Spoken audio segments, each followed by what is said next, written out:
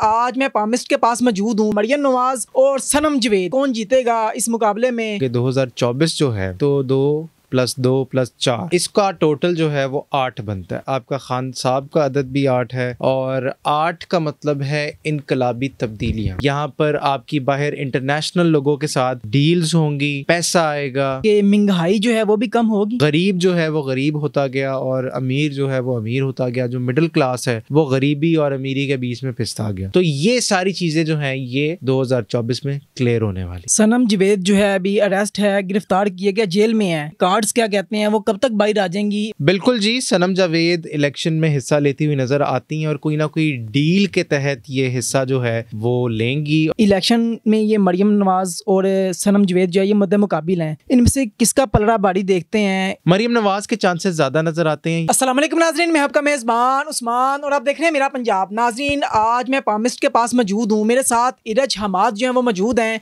इनसे बात करेंगे और जानेंगे कि आखिर सियासत जो है वो किस तरफ़ जा रही है। मरियम नवाज़ और सनम जवेद। किसका मुकाबला जो है कौन जीतेगा इस मुकाबले में? किसको सीट मिलेगी एन ए की? इनसे बात करते हैं और जानते हैं कि आखिर ये इनका जो इलम है वो क्या कहता है इस हवाले से। अस्सलाम सर। वालेकुम अस्सलाम। सर कैसे हैं आप? अल्हम्दुलिल्लाह उस्मान भाई बहुत बहुत शुक्रिया कि आपने टाइम निकाला और मुझे अपने शो पे बुलाया। और जो टॉपिक आप लेके आए हैं मैं नाजरीन को सबसे पहले ये बताता चलूँ कि 2024 जो है अगर हम उसको न्यूमरोलॉजी के हिसाब से देखें तो दो प्लस दो प्लस चार। तो इसका टोटल जो है वो आठ बनता है। अब आठ का जो अदद है वो तख्त या तख्ता। आपका पाकिस्तान का अदद भी आठ है, आपका खान साहब का अदद भी आठ है और आठ का मतलब है इनकलाबी तब्दीलियाँ। अगर पाकिस्तान की कौम ने, पाकिस्तान ने अगर अपने इतिहास से, अपनी पहले की सियासत से अगर सबक हासिल ना किया तो ये मौका और ये जो तारीख़ है 2024 की, ये दोबारा नहीं मिलेगी। आठ, एक बहुत बड़ा इनकलाब आने वाला है पाकिस्तान की सियासत में, पाकिस्तान की इकोनॉमी के हवाले से, पाकिस्तान की एम्प्लॉयमेंट के हवाले से। आपके जो बड़े ही ज़बरदस्त इंपॉर्टेंट महीने हैं इस साल के, एक आपका मार्च का महीना, एक आपका जून का महीना एक आपका अगस्त का महीना और एक आपका दिसंबर का महीना 2024 का बहुत इंपॉर्टेंट नज़र आता है। जैसे जैसे ये साल गुजरता जाएगा, पाकिस्तान और पाकिस्तान के लोगों के लिए बहुत बड़ा रिलीफ मिलने वाला है। यहाँ पर आपकी बाहर इंटरनेशनल लोगों के साथ डील्स होंगी पैसा आएगा, आपको पेट्रोलियम के लिहाज से, पेट्रोलियम के हवाले से बहुत सा बड़ा, बहुत बड़ा रिलीफ जो है वो मिलने वाला है। और एम्प्लॉयमेंट के जो जो चांसेस हैं, जो एक हमेशा हमने अपनी आने वाली यूथ से सुना है कि जॉब नहीं मिल रही, कारोबार नहीं है, ये सारी चीज़ें जो हैं, ये मार्च के महीने के बाद बेहतर होने वाली हैं। ये बताइएगा सबसे इम्पोर्टेंट कि महँगाई जो है वो भी कम होगी? बिल्कुल कम होगी और महँगाई की जो फ्लक्चुएशन जो 2023 में रही है आ, उसके ऊपर कंट्रोल जो है वो पाकिस्तान की हकूमत अल्लाह ताला ने चाहा अल्लाह ताला के हुक्म से वो एक जो ग्रिप नहीं बन पा रही थी 2023 में तो 2024 में वो ग्रिप बनती हुई नज़र आती है। और तेईस में जो महँगाई हुई है उसका जो चार्ट है, वो नीचे की तरफ़ जा रहा है। बेशक 2024 में पाकिस्तान को एक अच्छा हुक्मरान मिलने के चांसेस नज़र आते हैं और ये जो अब इलेक्शंस के बाद हुकूमत आएगी तो ये हुकूमत कोई वीक हुकूमत नहीं होगी, ये बहुत बड़े बड़े रिस्क लेके, बहुत बड़े बड़े चांसेस लेके कुछ नई पॉलिसीज़ बनाएँगी पाकिस्तान के लिए, पाकिस्तानियों के लिए, ताकि अवाम को जो है वो रिलीफ मिले।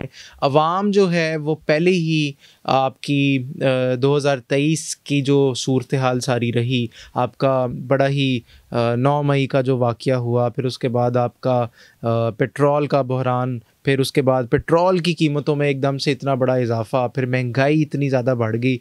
गरीब जो है वो गरीब होता गया और अमीर जो है वो अमीर होता गया, जो मिडिल क्लास है वो गरीबी और अमीरी के बीच में पिसता गया। तो ये सारी चीज़ें जो हैं, ये 2024 में क्लियर होने वाली है। सनम जवेद जो है अभी अरेस्ट है, गिरफ़्तार किया गया जेल में है।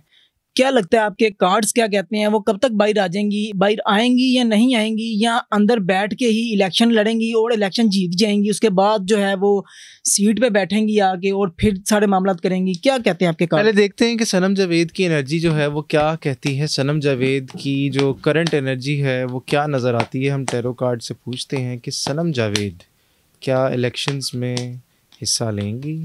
क्या सनम जावेद इलेक्शंस में हिस्सा लेंगी? बिल्कुल जी सनम जावेद इलेक्शन में हिस्सा लेती हुई नज़र आती हैं और कोई ना कोई डील के तहत ये हिस्सा जो है वो लेंगी और इनकी किसी ना किसी के साथ ऑलरेडी गुफ्तु जो है अंडर द टेबल चल रही है। और कोई ना कोई अगर आपको आप, अगर आपको मीडिया में या टीवी पे अगर ये दिखाई दे रहा है कि सनम जावेद बहुत ज़्यादा मुश्किल में होंगे लेकिन मुश्किल तो दूर दूर तक उनके लिए कोई भी नज़र नहीं आ रही।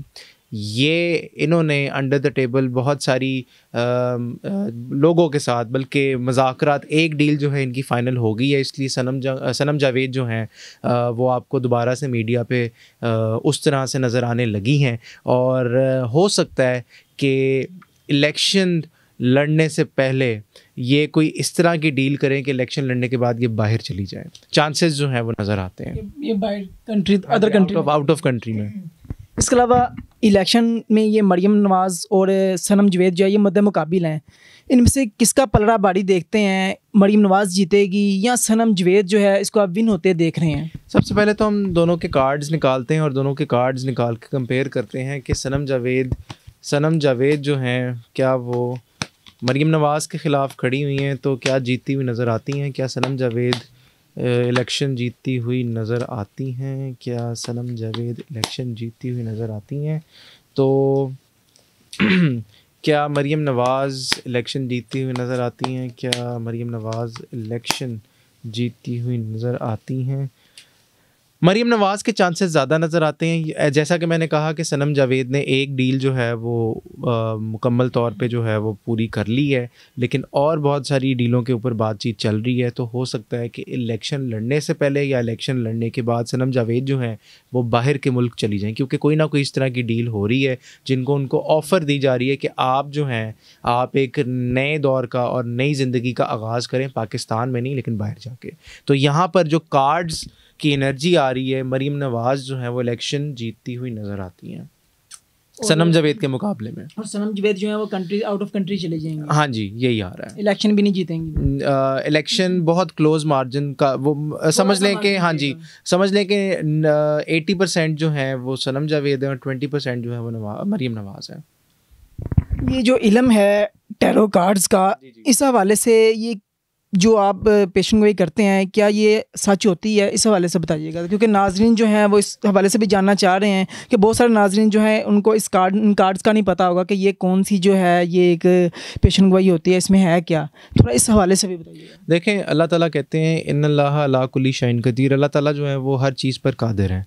तो आप पेशेंट गोई या जो एनर्जी जो है, जो कार्ड्स के थ्रू निकल रही होती है तो ये एनर्जी जो है, ये तभी मुमकिन है जब किसी अल्लाह वाले का हाथ आपके पीछे हो, जब किसी अल्लाह वाले की दुआ जो है वो आप लोगों के पीछे हो। बहुत सारे लोगों का एक गलत कॉन्सेप्ट बना हुआ है कि ये शिरक है या ये गलत है ये इल्म जो है मुस्तबिल का जो इल्म है, वो सिर्फ़ अल्लाह ताला को ही पता होता है। बेशक अल्लाह ताला को गैब का इल्म होता है, लेकिन मैं एक ये चीज़ क्लैरिफाई करना चाह रहा हूँ कि ये जो इल्म है टेरो कार्ड का, ये आपका पाथ डिफ़ाइन करती है, ये आपका फ्यूचर नहीं बताती। मिसाल, इसकी मिसाल इस तरह से है कि अगर आप सीढ़ियाँ रहे हैं तो आप किसी को भेजेंगे पहले कि यार, जाओ देख के आओ कि सीढ़ियों में गंद तो नहीं है? जो मेहमान आने वाले हैं या जो चीज़ें आने वाली हैं, उनका रास्ता तो आप क्लियर करेंगे ना, जो गंद होगा सीढ़ियों में, वो आप किसी को भेजेंगे, वो गंद जाके क्लियर करेगा, फिर वो आके आपको बताएगा कि हाँ जी गंद वगैरह जो है वो साफ़ हो गया है। टेरो कार्ड जिस रास्ते पर, जिस पाथ पर जो बंदा या इंसान है, वो चल रहा होता है टेरो कार्ड वो एनर्जी उसकी पिक करते हैं और वो एनर्जी उसको बताती है कि आप भाईजान जिस रास्ते पर चल रहे हैं क्या वो रास्ता आपकी फेवर में जाएगा या नहीं जाएगा? बहुत सारे लोग ये पूछते हैं कि हमारा, हमने कारोबार स्टार्ट करना है तो क्या हम ये कारोबार स्टार्ट करें? एडवाइस होती है ये। और बहुत सारे लोग ये भी पूछते हैं कि एक प्रपोज़ल आया है, रिश्ता आया है तो क्या हमें हाँ करनी चाहिए या ना करनी चाहिए? अब ये भी लोग सवाल करते हैं। तो मेरा ख्याल है कि अगर लोगों को पाथ डिफ़ाइन हो जाए अल्लाह ताला के हुक्म से, क्योंकि देखें, जो पाथ हम लोग डिफ़ाइन करते हैं, वो हम खुद से नहीं कह रहे होते। जो एनर्जी आ रही होती है ये एनर्जी जो है ये हमें हमारे बुज़ुर्गों की तरफ़ से हमें आ, उनकी दुआओं की तरफ़ से अल्लाह ताला के हुक्म से ये मिली होती है। नाजरीन आपने इरज भाई जो है इनकी सारी गुफ्तु सुनी। इनका ये कहना है कि मरीम नवाज़ जो है वो जीतती हुई नज़र आ रही है और सनम जवेद जो है उनकी डील हो जाएगी, वो आउट ऑफ़ कंट्री चली जाएँगी, थोड़े से मार्जिन से जो है वो हार जाएँगी मतलब उनके जो नंबर्स हैं वो कम होंगे मरीम नवाज़ के नंबर जो हैं वो ज़्यादा होंगे। वक्त बताएगा कौन जो है सीट पर बैठता है, किसका पलड़ा जो है वो भारी होगा। आप इस वीडियो के हवाले से क्या कहते हैं, अपनी जो कीमती राय उसका जहार कमेंट सेक्शन में ज़रूर कीजिएगा। इसी के साथ अपने मेज़बान को इजाज़त दीजिए, देखते रहिए मेरा पंजाब, तब तक के लिए अल्लाह के बाद